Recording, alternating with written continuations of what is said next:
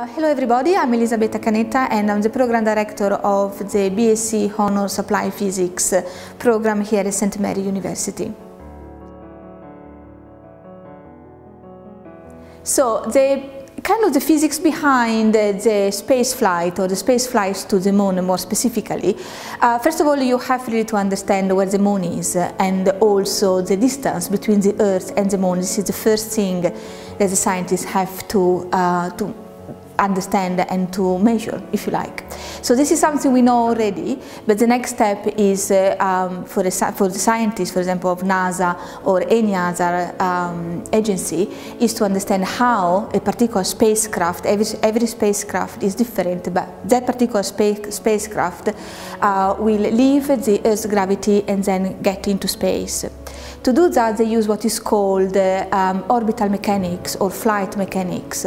So what orbital or flight mechanics does uh, basically studies uh, the, the motion of a spacecraft which is moving uh, under the influence of Earth's gravity, of the atmospheric drags, um, but also the, the thrust. The thrust is what scientists call also induced acceleration. So once uh, um, you know, you have this uh, information, then uh, um, from a, a, kind of theoretical point of view, you know uh, the distance uh, between the Earth and the Moon, obviously, but the next step is to put it in practice. So put, to put it in practice, then you use what is called a translunar uh, injection. So the translunar injection means you have the capsule or the spacecraft already orbiting in what is called the low Earth orbit, also called LEO. Once it is there, um, then what happens, uh, um, the spacecraft has to accelerate, so you have a kind of thrust um, and uh, so the velocity of the um, spacecraft will, uh, will increase, so you have an acceleration. And from a circular orbit uh, around the Earth, which is what it's doing when it is uh, in LEO, it will start uh, um, have, well, it will start going uh, on an eccentric orbit, so slightly more um, kind of elongated. And then slowly, slowly, it will become an elliptical orbit. When it is an elliptical orbit, that orbit must be must be such that the apogee, uh, so the the um, uh, kind of farthest distance from the Earth is near to the radius of the Moon's orbit. So once the spacecraft will reach that point, that apogee, that basically it will be very close to the to the Moon, and the Moon will attract the spacecraft. And so the spacecraft will go through what is called an hyperbolic swing by. So it will be literally start orbiting around the Earth, um, around the Moon, sorry. And so that's what will happen uh, to a spacecraft. So it will be literally launched towards the moon, it will be attracted by the pull, gravitational pull of the moon, and then it will um, go around the moon and ideally come back or land on the moon, one or the other.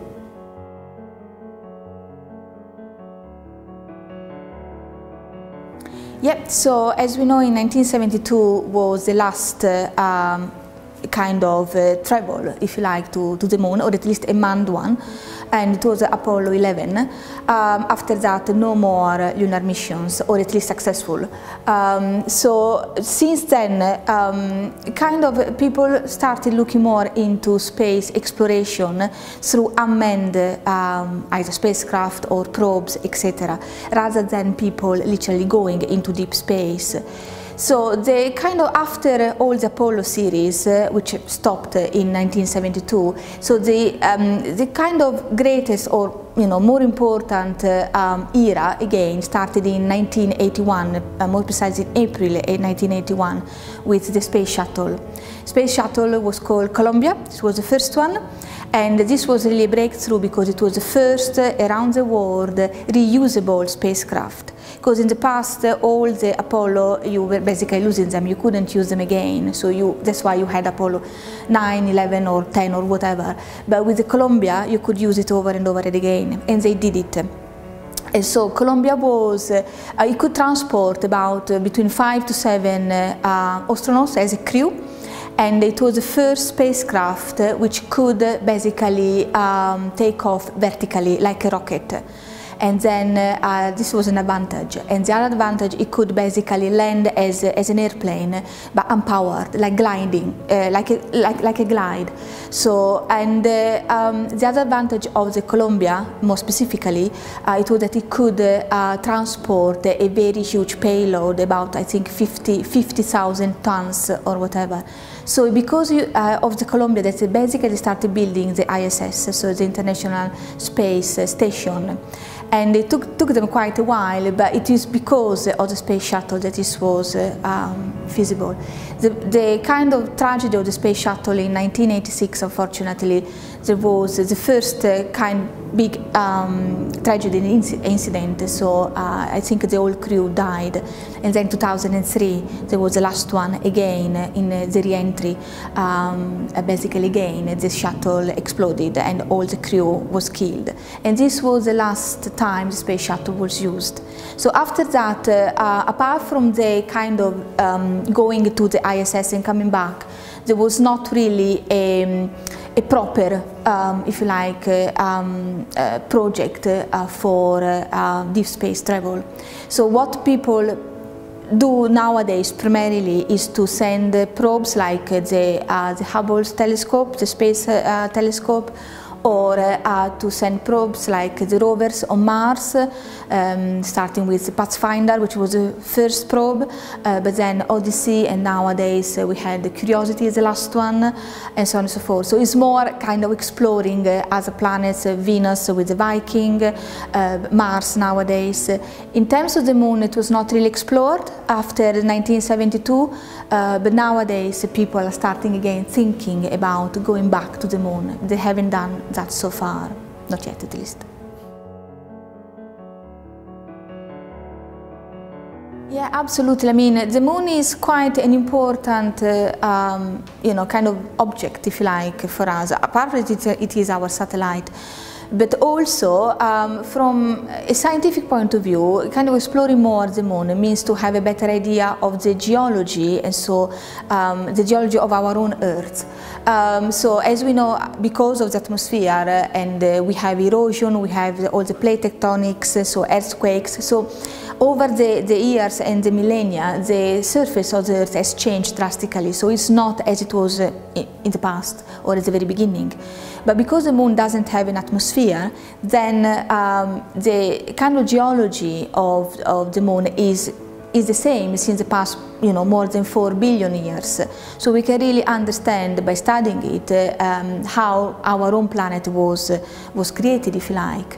Um, the other advantage is uh, um, in terms of using the moon for, for example, astronomy or to have platform for uh, astronomical um, kind of projects. The reason why it is a good one because the far side of the moon is basically um, completely outside the magnetosphere of the Earth. Um, and so it doesn't, it, it, I mean, the magnetosphere is not influencing at all uh, the moon. So the magnetosphere is our shield, so it's protecting us from, for example, cosmic, uh, cosmic rays, etc. But sometimes we need to study them, so we could do that uh, if we are on the moon. Um, the other advantage is uh, um, you could use it as uh, a platform for uh, launching rockets because uh, the gravity of the, of the moon is one-sixth of our gravity. So if we had a platform for launching, we would need less fuel, for example, to launch a rocket uh, in deep space. So it would be very advantageous. So these are some of the benefits uh, that people are looking into. Uh, the other benefit, which is certainly not the least, um, and certainly not the last, is uh, um, colonization. So for us to colonize the moon um, and to, in particular in some parts of our planet, people are a bit crowded. And so it would be nice uh, to have a kind of other place where to go and then to start exploiting and to mine uh, the moon and then to use it as a platform for science or uh, launching rockets or space shuttles and so on and so forth. I would love to. First of all, because I'm curious. I'm a scientist, I'm a physicist. So for me, um, to go uh, on the moon and to start exploring more what the moon is all about in the end and to start kind of using it, that would be for me absolutely fantastic. And again, kind of childhood dream. I wanted to become an astronaut, again for exploration and just to uh, understand better how things work.